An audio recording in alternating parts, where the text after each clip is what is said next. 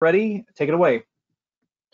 All right. Uh, well, thank you for that introduction. Um, as mentioned, I work at CIMMS and NSSL in uh, Norman, Oklahoma, um, and I am really interested in the idea of co-production of knowledge. Uh, so that would be working with forecasters throughout the whole um, research process. Um, so I'm really interested in not only presenting information today, but also in hearing your all's feedback, um, suggestions, anything that, that you think about uh, uh, the presentation um, today. So basically, oh, let's see if I can advance slides here. There we go. All right, so basically our story begins with the uh, upgrade of the Weather Service radars to dual pol and back in the early 2010s. And basically, dual pol can provide new information about storm scale processes. We have new signatures that we can look at now, like ZDR columns, which provide some information about a storm's updraft and intensity. There are also things like ZDR arcs, which give information about the storm relative wind, as well as storm organization. Um, so lots of in interesting information. Um, but during a 2015 hazardous weather uh, testbed experiment that I was um, involved in, something caught my attention. Um, I was interested in rapid update data like phased array radars as well as dual pol. So I started asking forecasters who were involved in the experiment a question. Would you sacrifice dual pol data in order to have rapid updates? And week after week, unanimously, the forecasters very quickly said, yes, we would take, we would get rid of dual pol if it meant we could have rapid update data. So that got me thinking, well, dual pol, which I've read about, you know, which has a lot of good, um, what appear to be good applications, maybe it's not being used all that much. So I started talking to more forecasters, and it did seem that perhaps dual pol is not widely used to make warning decisions. And that could be because there's not a lot of solid research just yet linking dual pol specifically to warning decisions. And how can a dual pol signature actually be used to make a warning decision or to support a warning decision? So what we decided to do is really focus on one signature, one dual pol signature, which is the ZDR column, um, and try to compare it to signatures that are frequently used by forecasters in an effort to really link it into existing scientific conceptual models. So to do that, we compared ZDR columns, which are just a vertical column of high ZDR. You can see an example of one over here on the right. And we compared the evolution of the ZDR columns to things like minus 20 C reflectivity cores and mesocyclones and storm reports all to get an idea of how they sort of interact with each other, how they might relate to each other. We used a couple different data sources. One was base data, so just ZDR, Z, correlation coefficient, um, to examine ZDR column evolution. So we did things like take vertical cross sections through the column, like what you might do in GR. We also looked at the max value of the ZDR uh, column at the column top. So what's the highest ZDR at the column top? We also looked at a, a um, experimental algorithm called the ZDR column depth algorithm, which basically just outputs um, a calculation of ZDR column depth um, across a latitude and longitude grid. So we performed this analysis on rapid update KOUN data. KOUN is a research radar here in Norman we operated it using sector scans so that we could get rapid updates, basically volume update times of two minutes or less. We looked at 45 different storms. There were over 1,300 volume scans in our analysis. We had a pretty good representation of storm types, whether it be supercells, multicells, severe or non-severe storms, tornadic and non-tornadic storms. And we looked at storms over a relatively wide range of the year, but it is important just to, re to remember that we did not look at any cold season events um, in this particular data set. So in analyzing all of those uh, cases and examples, we came up with some conclusions or some results, if you will. Um, so the first of those are, there is still some uncertainty about how ZDR column evolution might relate to um, tornado genesis or tornado potential for a given storm. So the plot that's up now is a violin plot of the maximum height of a ZDR column determined by a vertical cross section. So just like in GR, when you put that vertical cross section through, we did that and we measured the, the maximum height of the 1 dB isosurface within a ZDR column. So that's what this violin plot shows. It's showing a distribution of all those different measurements. Now the width of the red area is just showing the number of uh, observations in that uh, at that point. So the wider the red area is, the more observations there are, and the skinnier that red area is, the less observations there are. And I've also um, overlaid traditional box plots on top of those violin plots where the dark black line in the middle of the white box is just the median of the observations. So we've got the height of the ZDR column over here on the y-axis, non-tornadic storms or mesocyclones on the left, tornadic mesocyclones on the right. And at least using this measure, we did see some differences in the distributions. The median ZDR column uh, cross-section height for tornadic storms was greater than the median uh, for the non-tornadic mesocyclones, and this difference was statistically significant. But when we looked at things like um, the ZDR column height for tornadoes of different magnitudes or different EF ratings, things started to look a little bit more uncertain. Um, there was more overlap and it just was not clear that there was a, a, strong relationship between the ZDR column and the intensity of the tornado. Now it's possible that a small sample size is an issue here. For example, we only had two EF4s in our data set. But when we looked across when we looked across all of the storms using the ZDR uh, column depth algorithm, we saw different results. Where here there was very little difference between the distributions of the maximum depth of the column between tornadic and non-tornadic mesocyclones. So there's uncertainty in how this might relate to a storm's tornadic potential. And I think this is borne out in the literature as well, where what exactly is happening with an updraft prior to tornado genesis? Is the low level updraft strengthening while the upper level updraft is weakening? What impact might that have on the ZDR column? And so I think there's just still uncertainty here. This is an active area of research. So for this project, we really decided to focus in on ZDR columns for severe and non-severe storms. So that would be a severe storm would be just a storm that produced severe hail or wind, at least based on um, the storm data publication. And what we found was that ZDR columns are a pretty good distinguisher between those severe and non-severe storms.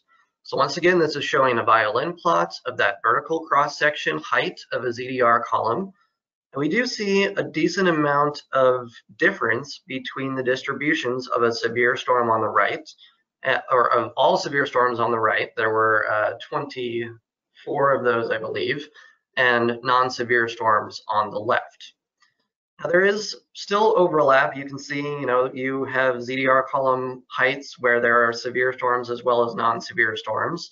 So another way to look at this is using this plot which is showing the percentage of volume scans at various thresholds of column height that were associated with severe and non-severe storms in our data set. So for example, if we take a threshold of ZDR column height of 7.5 kilometers, we can see that about 70% of the volume scans were associated with severe storms, whereas a little under 30% were associated with non-severe storms. If we take that back to our violin plot, 7.5 would be right about here.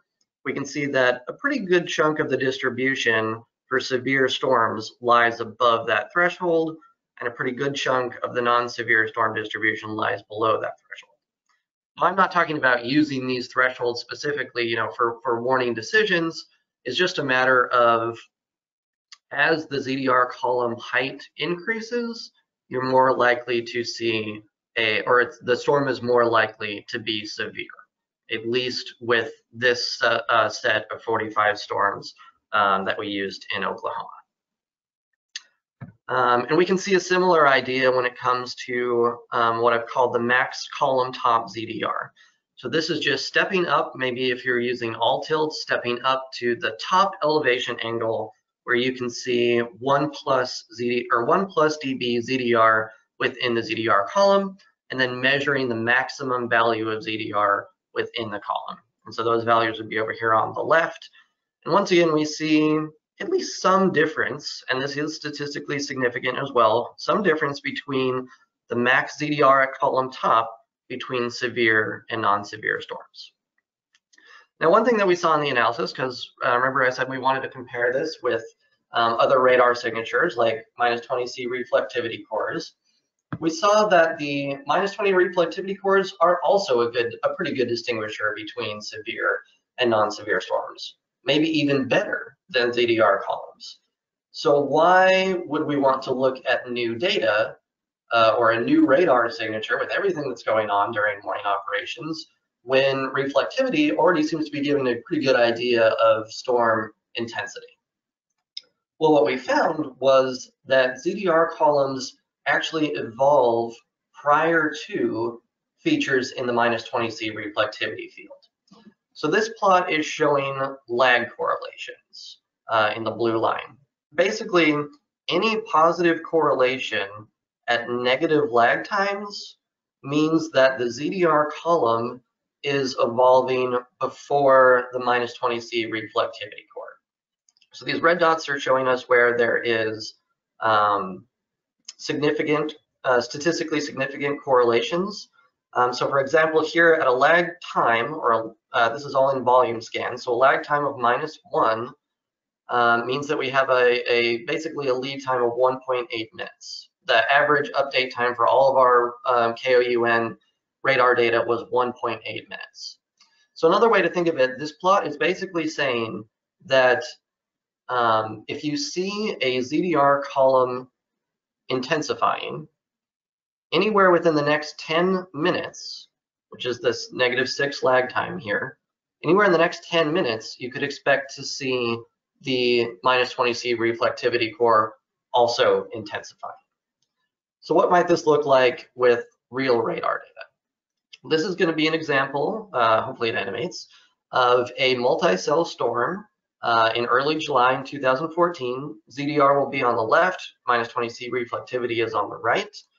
As we loop through this, you'll be able to see that the ZDR column develops first, then about 10 and a half minutes later, we see the big minus 20C reflectivity core develop. So really the, the ZDR column can provide information about a storm's updraft and how strong that updraft might be before you see a reflection of that in the reflectivity, which is basically that high concentration of raindrops and maybe big hail that is forming because of the strong updraft. So that's trying to link it into that updraft conceptual model. If you have a strong updraft, you might expect a greater chance of hail or strong winds at the surface. And this conceptual model can also apply to um, supercells as well as well as multicells. So this is an example of a supercell in late May of 2013, where we have this really big, strong ZDR column that develops about 10 minutes prior to this really obvious bounded weak echo region um, that develops near the end of the loop. Once again, this is just a way of saying uh, maybe drawing attention to a storm and saying, oh man, this storm has a really strong updraft. Maybe this is a storm to watch. I should also mention that this really strong ZDR column and as well as the B, the bounded weak echo region 10 minutes later did precede a 5.9 inch hail report um, at the surface. Now, granted, this is a this is kind of an extreme case, May 31st, 2013, uh, very very strong updrafts, but it still illustrates that if you see an increasing ZDR column, means you've got a stronger updraft, and that could, depending upon the strength of the updraft, result in severe weather um, at the surface. Now, with all of the good things that um, that it appears that ZDR columns can provide, all that information it can provide, there are limitations, just like with many radar signatures. And those limitations are important to consider. Uh, one of the primary ones that we found was that large hail and three body scatter spikes can mask out the ZDR column, especially if you have just a few large hailstones that maybe fall back into the updraft or fall around the periphery of the updraft, it can really mask out that ZDR column. So this is an example of a prolific hail producing supercell back in late March of 2017. This storm had multiple hail reports, including uh, baseball size hail. And so I've circled the area approximately where we would expect to find the updraft. But when we look at the ZDR field, there's basically nothing. ZDR is even negative. So we could have big hail or attenuation issues here perhaps, um, but there's no ZDR column. And even the ZDR column depth, uh, which is down in the bottom right corner, shows no output. So the algorithm is saying there's no ZDR column here. Obviously, there's an updraft here if this storm is producing baseball-sized hail, but there must be some kind of contamination either from this three-body scatter spike or from the hail itself that actually masks out that column. And in other other cases that I've seen with prolific hail reports, I've seen same thing, the similar things where there's just really not much of a ZDR column. So in instances like this, it may not be possible to really use the, the ZDR column most efficiently. Another thing to consider is the are those mesoscale environmental differences. Um, we're uh, showing a violin plot here again um, for two different supercells um, and the column depth size, so how big the ZDR column is. Supercell 1 here on the left produced an EF3 tornado, and this is actually May 31st, 2013, so this is the El Reno tornado, the 2.6 mile wide tornado. And then on the right is Supercell 2, which produced only a brief EF0 tornado, even though its ZDR column was bigger and um, greater in magnitude than Supercell 1's ZDR column. So what I think might have been happening here was there was cold outflow air from Supercell 1.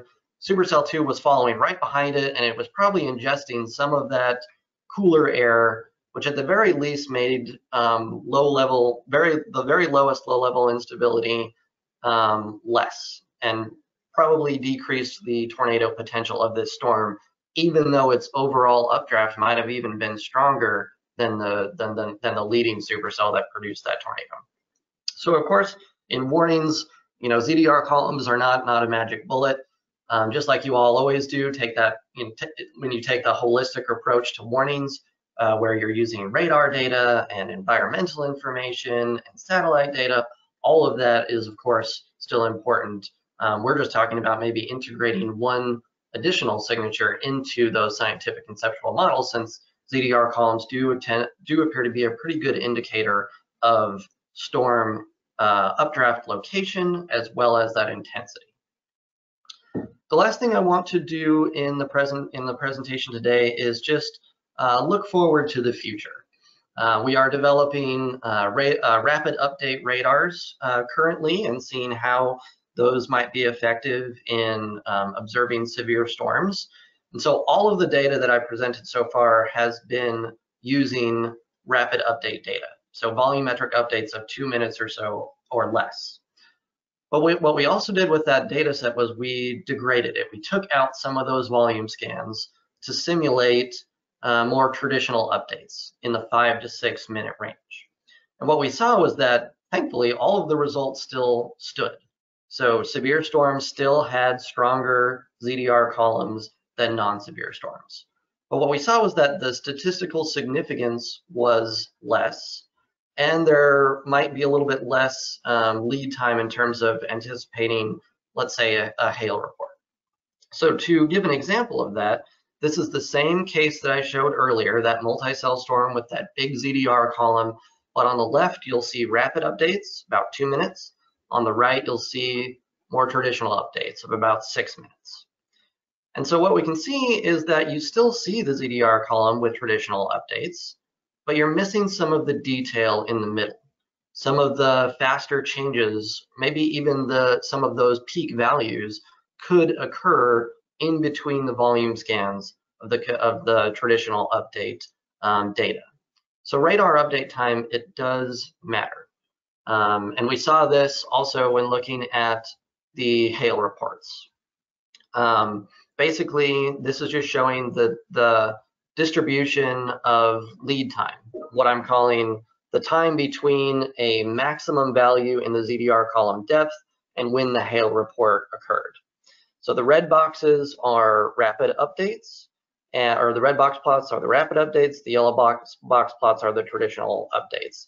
And then these values here are just the median lead time, if you will, for the time between the hail report and the ZDR column maximum depth.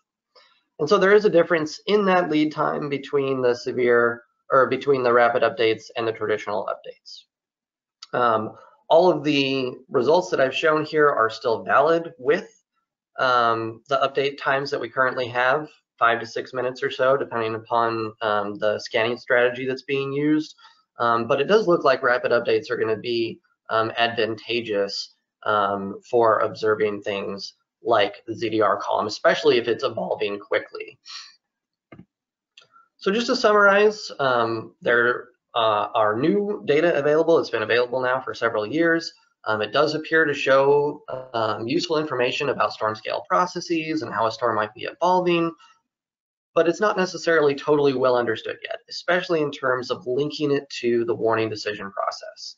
So we really wanted to focus on the ZDR columns and showing how they could be related to current scientific conceptual models, especially with updrafts.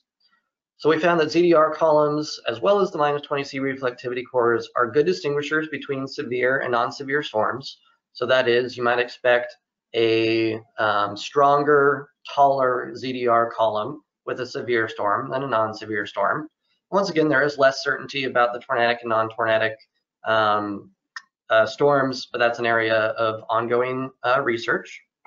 And then most importantly, I think for all of this conceptual model integration is we found that ZDR columns evolve prior to those features in the minus 20C reflectivity, whether it's the reflectivity core itself, or maybe a bounded weak echo region, maybe even a three body scatter spike. These columns um, appear before those signatures. And I think that's really important for that updraft conceptual model because updraft strength is important.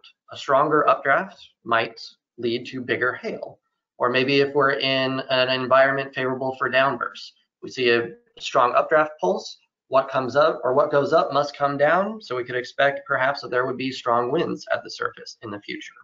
And I really think that's a way of, incre of increasing that heads up time using ZDR columns because you can see that updraft uh, magnitude earlier than using reflectivity alone. Then of course, as with many, many things in, in, in radar, there are some limitations that are important to consider. I think especially the masking of the ZDR column. Uh, that was that was definitely kind of dumbfounding for me the first time I came across it um, because I saw this you know strong supercell with lots of, of, of hail reports and I can't find a ZDR column. I'm like, why is there no ZDR column? There should be. This is a strong updraft. And I had to go talk to multiple different people, and we basically came to the conclusion of it's just masked out by that hail. Um, so those are important things to to consider, um, of course, with not only with ZDR columns, but with any radar signature um, as well. So with that, I thank you all so much for your time and be happy to take any questions if there are any.